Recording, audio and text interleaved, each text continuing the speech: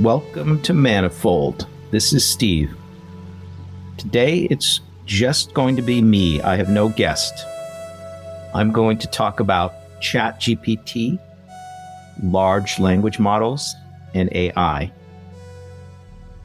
Let me start by saying a little bit about how large language models work.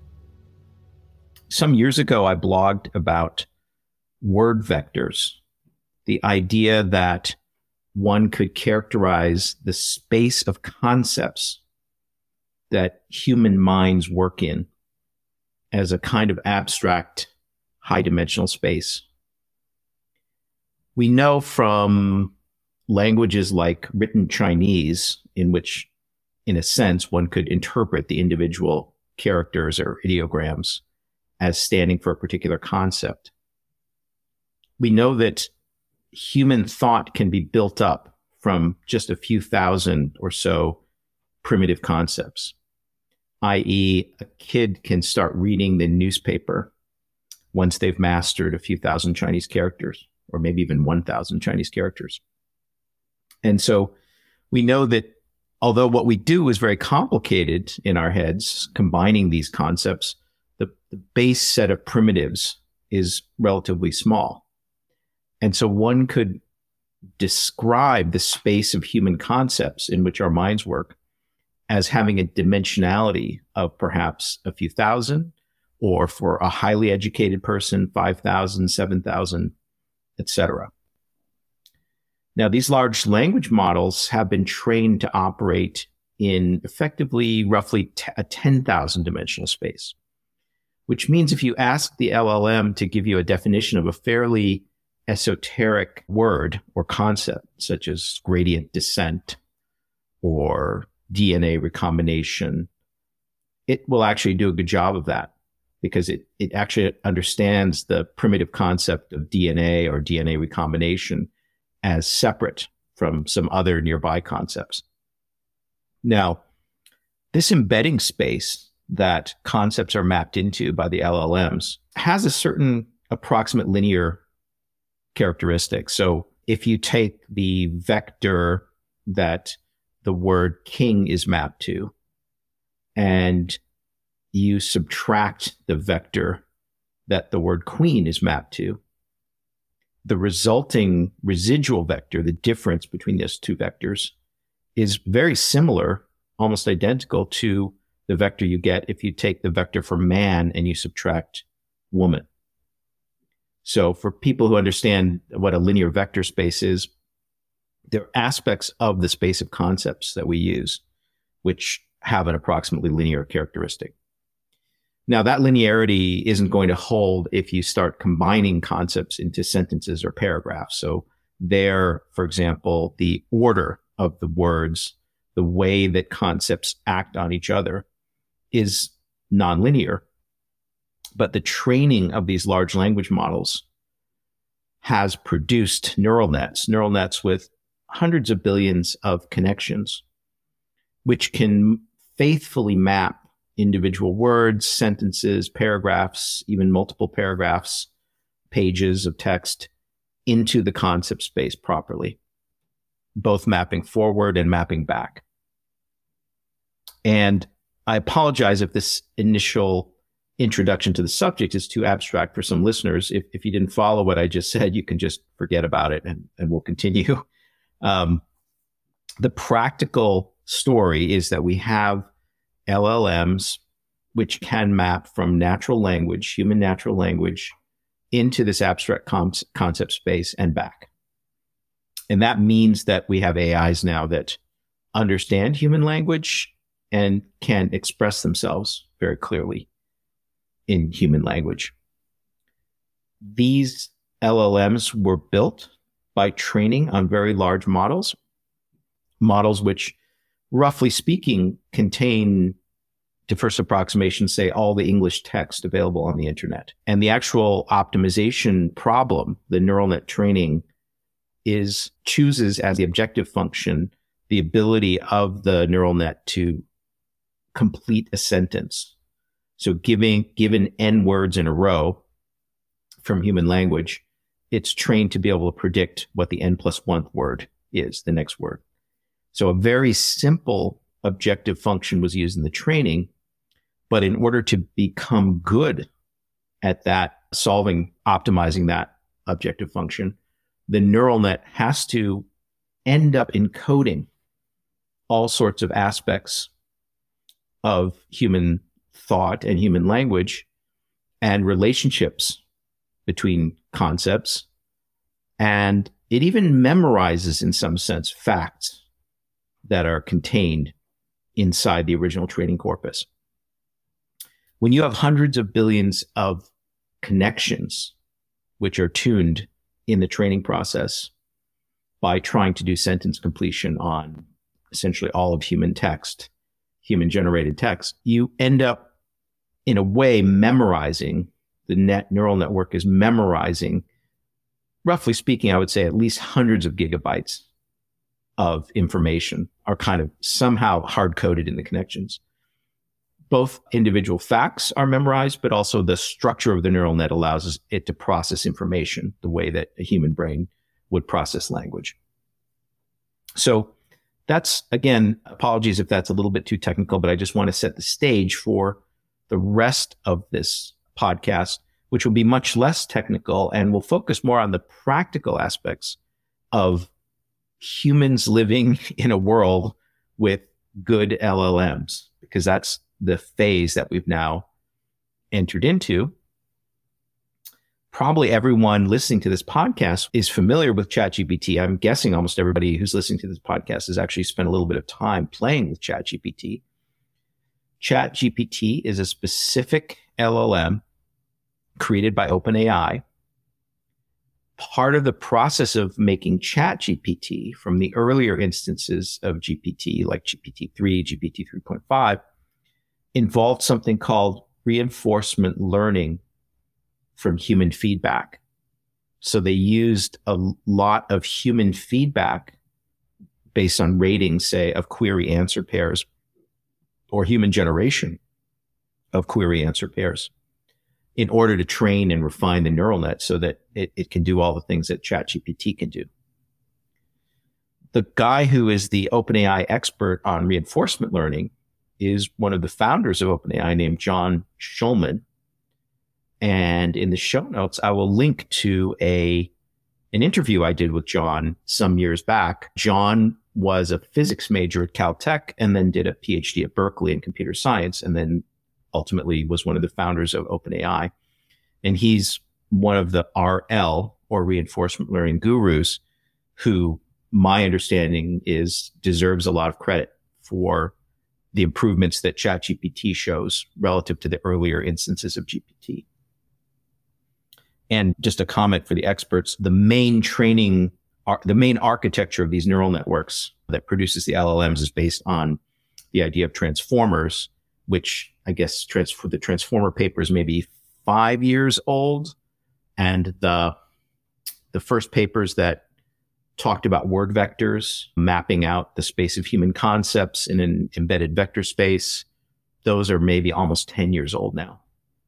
So you get a sense of academic or quasi academic research in AI gradually making its way into industry and then producing these big breakthroughs. Now, these big breakthroughs were not really possible without huge capex because my understanding is for training these large models, you end up spending tens of millions of dollars in just raw compute. And so at this point, there are very, very few academic research groups, purely academic, like not having some affiliation with, say, Facebook or Google or OpenAI, that can actually build state of the art LLMs. The one example I'm aware of is at Tsinghua University in Beijing, they have produced a leading edge language model, which I think is actually slightly better on the metrics, performance metrics than GPT 3 or maybe 3.5. Now, they were able to do that in collaboration with a well capitalized startup. I think that it's maybe spun out of Tsinghua. So even that wasn't a purely academic uh, research project. So, you know, if you're out, if you're a government policymaker and you're listening to this, you might consider whether the Department of Energy or National Science Foundation or the National Science Foundation of another country like the UK or Germany, whether they should pay to create a national LLM so that their researchers are not left out in the cold in this very rapidly advancing field. Now, let's talk about the impact of ChatGPT. It may be that ChatGPT exhibited the fastest product adoption of all time ever.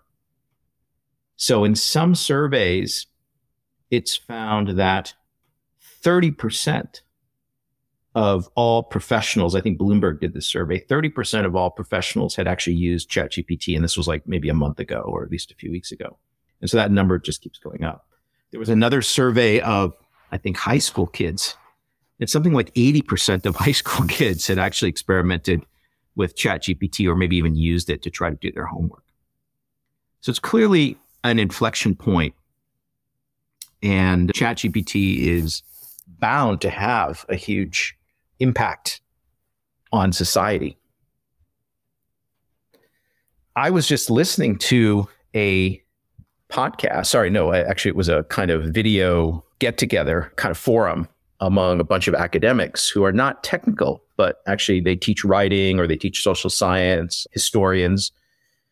And listening to these people talk about ChatGPT with really honestly very little technical understanding of things like neural nets or AI was extremely interesting. And even they realized this, you know, not only is going to lead to a new era in the way that they interact with students, the way that students do homework, but even in the way that they themselves write their papers to be submitted to academic journals. I think one of them said they actually knew of examples where they or their colleagues had used ChatGPT to help them refine papers that, you know, ultimately have now been submitted to journals.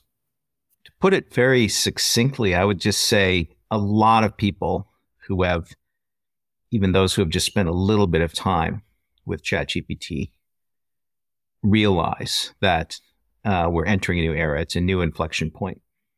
And for someone my age who remembers when the internet first became had a big impact on our lives. And then later when smartphones did, this feels like a very special moment where we're going to see some very dramatic changes. I think, for example, the way students do homework a year from now or six months from now is going to be extremely different than the way they did it six months ago. And so this is a very exciting time.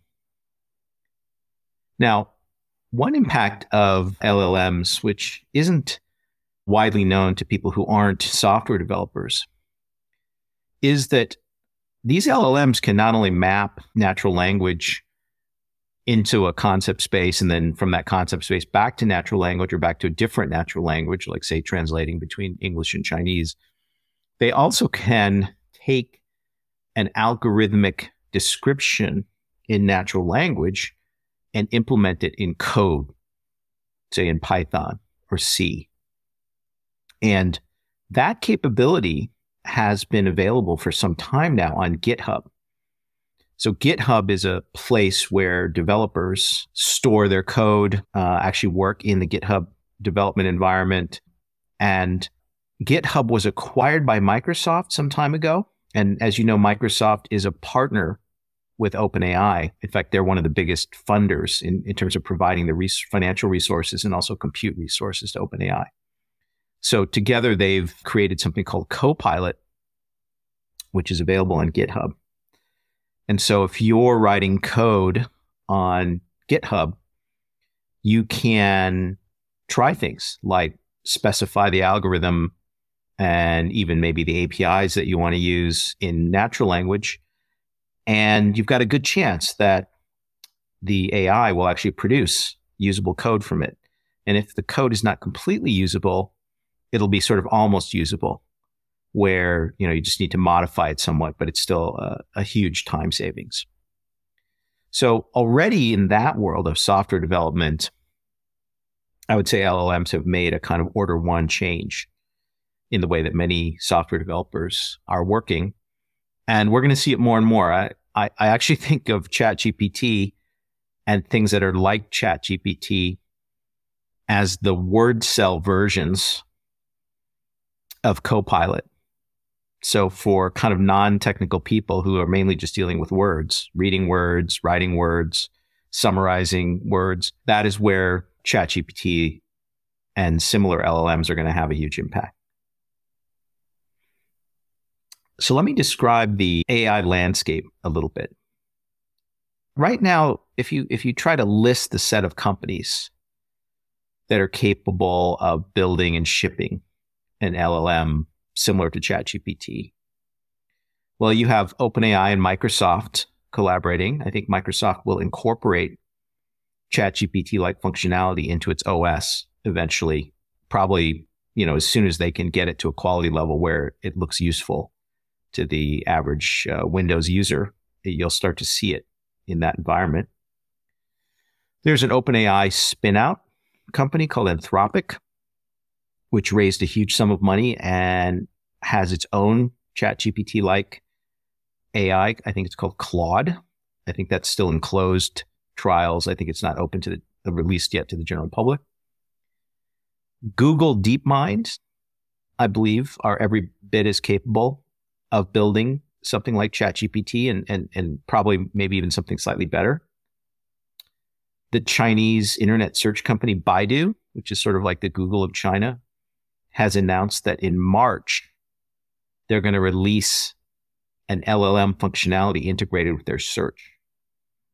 That's the thing which Google famously has called a quote code red about because people who understand traditional search realize that the advent of LLM capabilities is potentially going to modify very much how humans search for information. And so could potentially jeopardize the existing search engine business model.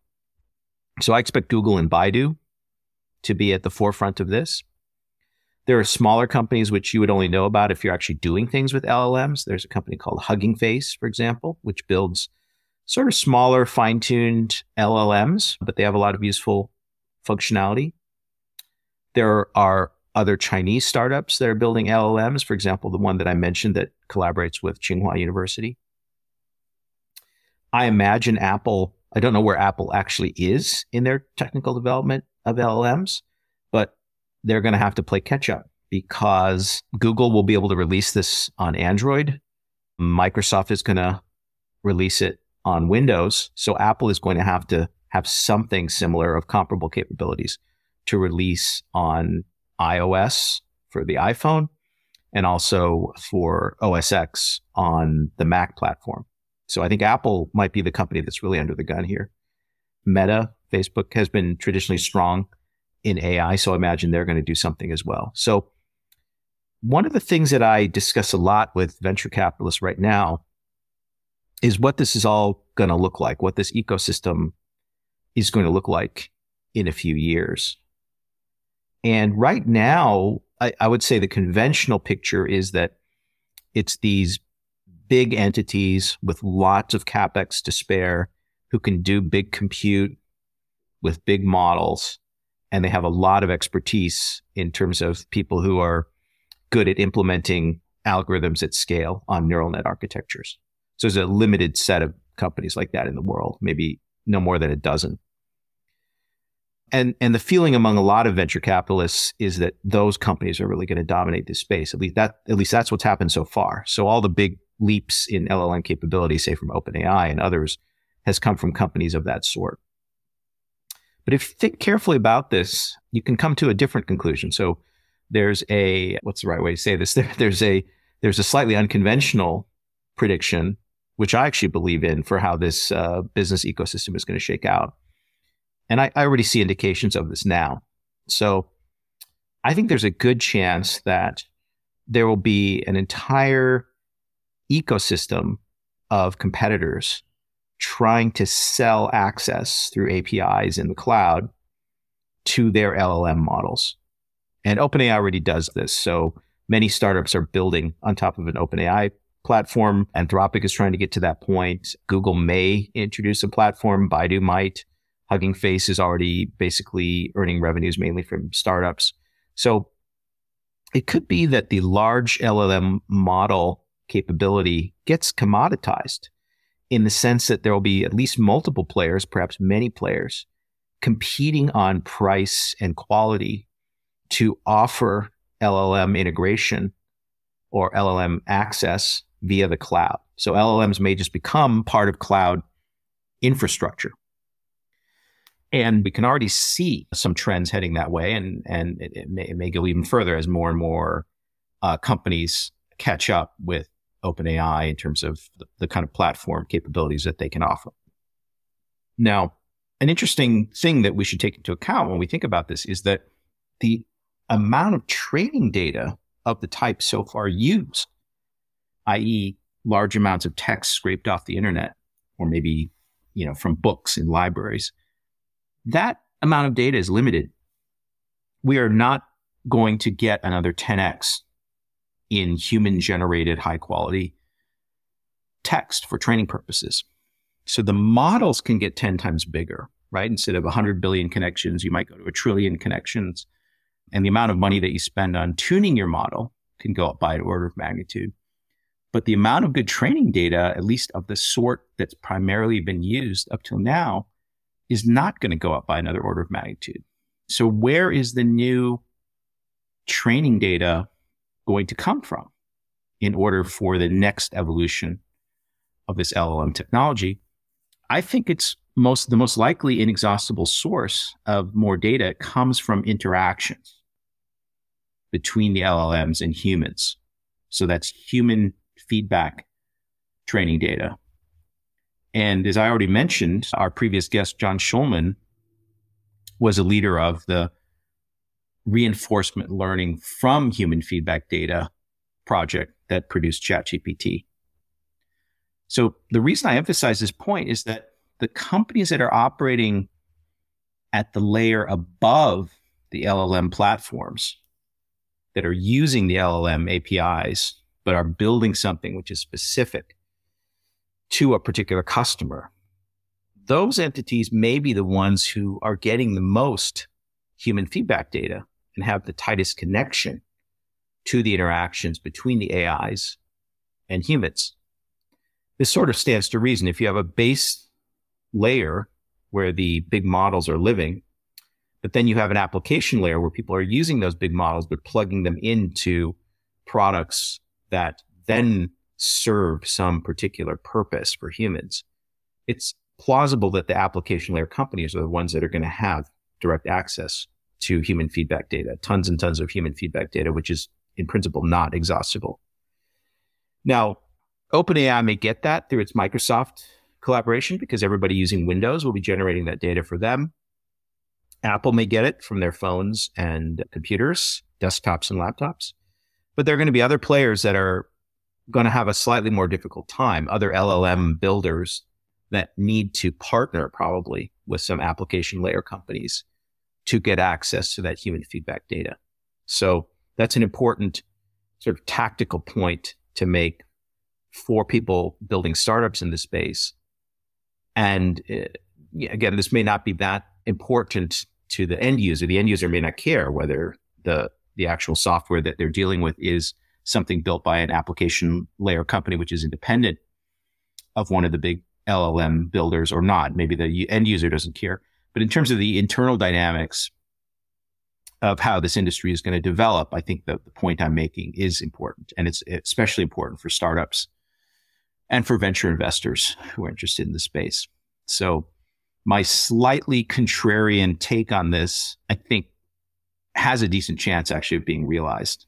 I'll come, I'll come back to this a little bit later in this podcast. Now, let me switch topics a little bit to talk about what I consider to be the major problem with LLMs right now, with ChatGPT right now. And that is something called hallucination. As I mentioned in the basic training of these models, in order to give them the large language, the, the language capability, natural language capability, you had to have them look at lots and lots of data scraped from the internet. And that data contains lots of quote facts which are not true. So lots of information that the model has ingested isn't actually true. And so people have used ChatGPT find that it can generate very well written plausible answers to queries, but sometimes the facts in those answers are subtly wrong.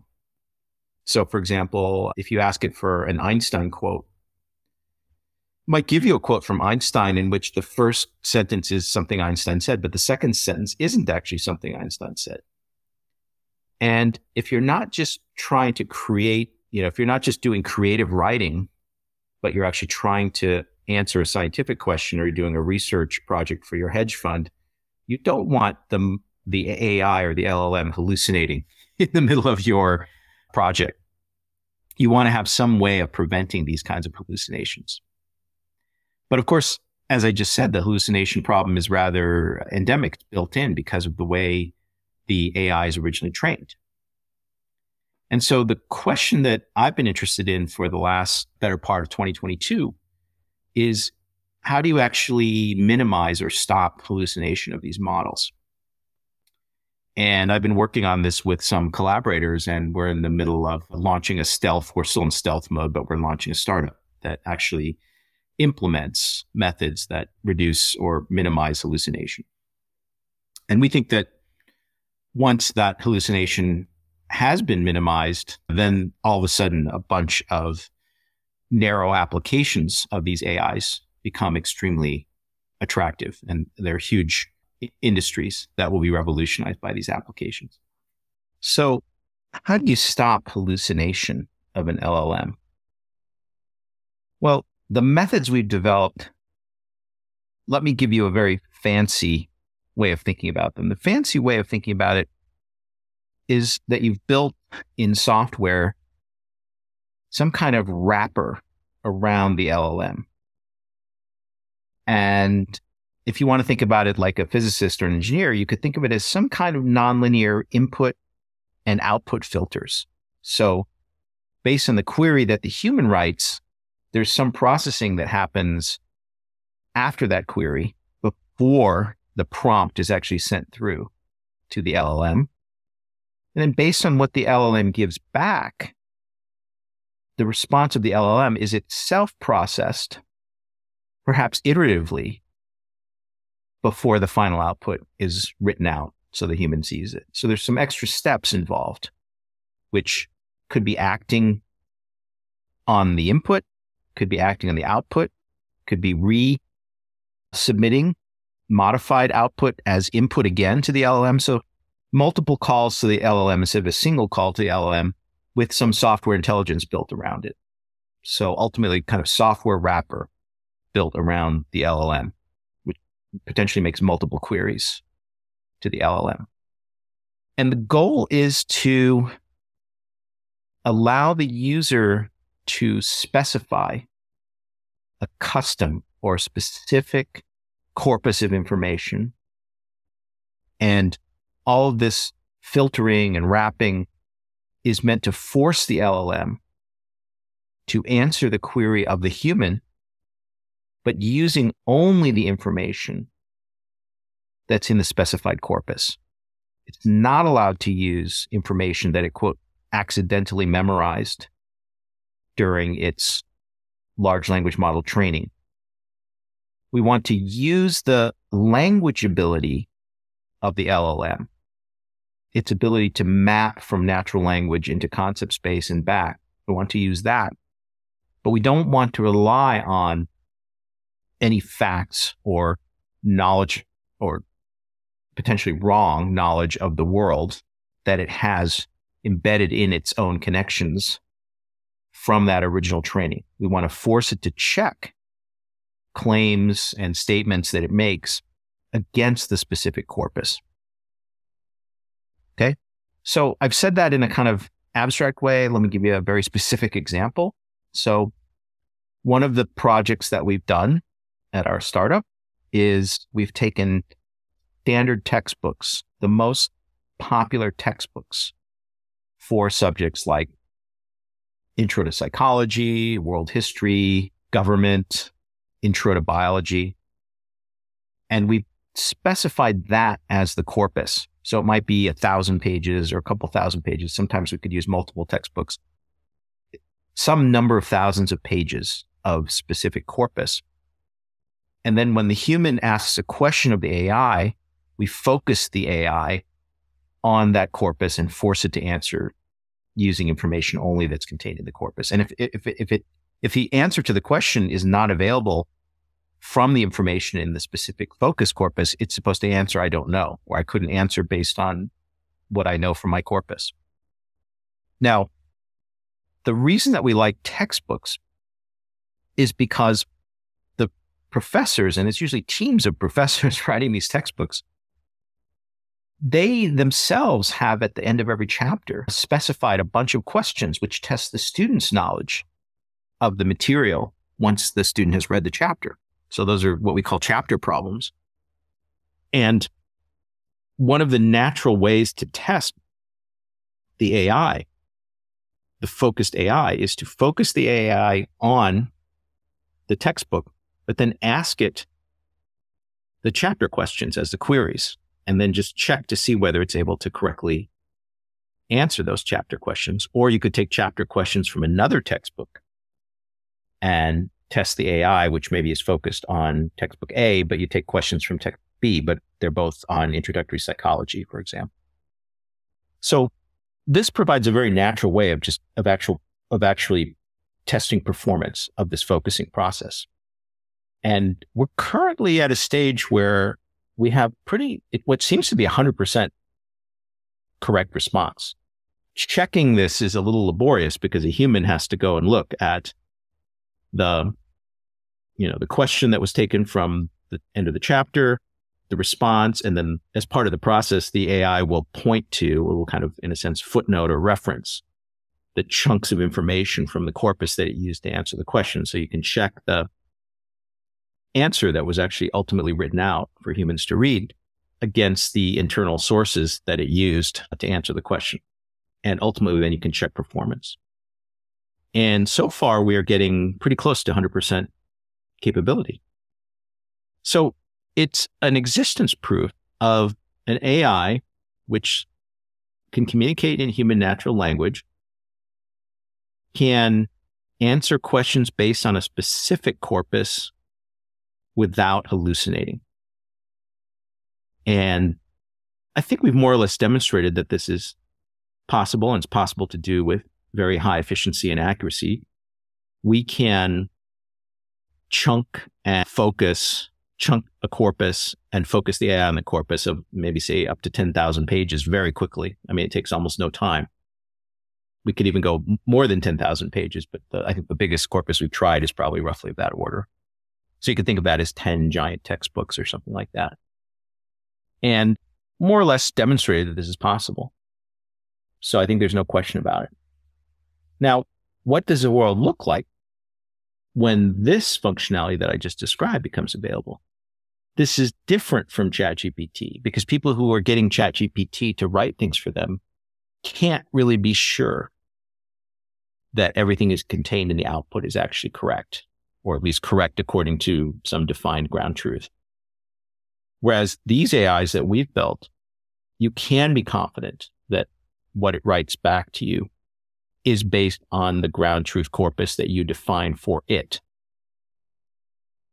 So let me describe some possible applications. Well, we, we talked about textbooks. We're about to launch a website that allows students in all of these introductory courses to learn from their textbook, to learn from an AI that has been focused on their text. And this may radically change. I think it will radically change the way students learn. These textbooks, for those of us who are older, if you've never seen a current college or high school level textbook, it's huge. It's like a 10 pound brick, you know, thousand plus pages that the student has to carry or may have to carry around, or they, they just use the electronic version on their laptop. But most students don't like to read linearly through these textbooks. And for some reason, the professors who write these textbooks have reached a point where they just feel they have to cram every possible thing into the chapter. So the student, if they want to actually read the whole chapter, reads a ton of extraneous stuff that maybe their professor is not focused on, is not specifically emphasizing in the class. So just being able to ask the textbook, could you please summarize what we know about the mating patterns of tropical birds? Can produce an answer, assuming that the focusing worked, which is a very nice summary. It's as if your friend who's a good student read the chapter for you and took some good notes for you. And, and that is possible now. So I think the way that education based on textbook information happens is going to change radically. And of course, you can go way beyond this. So you can easily like imagine designing a lesson plan where the professor specifies certain chunks of the book, asks the AI to write summaries, has the student read those summaries, can even ask the AI to generate questions that the student should try to answer. All kinds of things I think are going to change the way students interact with the, the, the bodies of knowledge that are covered in their courses. Now, a general way to think about this is to just say, well, I've, I've built for you an AI who is like a smart assistant. The smart assistant reads infinitely fast, writes infinitely fast, and more or less follows your instructions. So if you say, assistant, these last 12 months of The Economist, pull out the articles that were on supply chains in Vietnam and summarize for me which companies have had the most success moving their supply chains to Vietnam from China. And the AI can do those things. So the assistant who might have had a PhD or a graduate degree that you hired to do this, you don't require as many units of that assistant to run your business. The AI can do it. You can imagine an AI which is built so that the custom corpus is the set of product reviews that you deem very trustworthy, i.e., the set of product reviews from Consumer Reports, New York Times Wirecutter, Wired Magazine, CNET. Suppose you define that set of product reviews as your corpus. You can just ask that AI, Hey, I'm shopping for a cell phone for my son. I don't want to spend more than $400, but he wants it to be able to play these games. He wants an OLED screen etc. And the AI can just using the last two years of product reviews that you've defined as trustworthy can answer that question. I personally have to spend a lot of time because I guess I'm a frugal guy and performance oriented. I spend a lot of time like researching stuff before I buy things, but this could cut that time down substantially. Let me just mention one other application, which is obvious, which is customer service. If you define the corpus to focus your AI on as product manual for some large screen TV and a hundred pages of script, human generated scripts that the customer service person or AI is supposed to be familiar with, like, you know, standard questions like how, how do I use screen in screen or my thing is not connecting to the Wi-Fi, et cetera, et cetera. And if the AI is forced to focus on that limited corpus and answer all queries from customers using that corpus, then you can be sure that it's not saying weird or crazy things or incorrect things to the customer, but it's able to communicate to the customer in natural language. The customer might formulate the same query in many different ways, but it will understand because it understands human language that, oh, it's actually asking question number 242 in my scripts, among my scripts. And it just then gives the right answer. So again, that is going to take the place lots and lots of human labor, perhaps in the Philippines and India. So you can see that the impact of these technologies, which I regard as pretty much proven because what we've done with the textbooks and with other corpora in our startup more or less demonstrate that all this is possible. I anticipate a huge impact on the economy in the next few years as these new technologies get incorporated into standard business practice. Let me come back to my contrarian thesis that big LLMs will become a commodity, that there will be competition on price and quality, among big LLM builders, but we're already at good enough language capability. In other words, the existing LLMs are already pretty good so that a human can make themselves understood to the AI and the AI can make itself understood to the human, no problem. So even existing LLMs could be used for the applications that I described already. And they may just very well become a cloud based resource that any programmer can just tap into. The most interesting new form of data, as I've mentioned, is the human feedback. So when the human is interacting with the AI, if there's some miscommunication, if there's some way that humans start to use language that the AI is not that familiar with, if there's a kind of chain of questions where after the third question, the context should be apparent to the AI from the first question, but it doesn't currently get that. These are all things that you'll discover by using the human feedback data to learn from. And so I think the future of these capabilities may be strongly dependent on access to the human feedback. And so the people that build applications which touch a lot, interact with a lot of humans at scale, will be in a very special position to further improve the models more or less covers what I wanted to say. And I think this is a slightly perhaps shorter podcast than I usually do. But uh, let me just leave it there. And I hope you enjoyed the material that I covered. Thanks.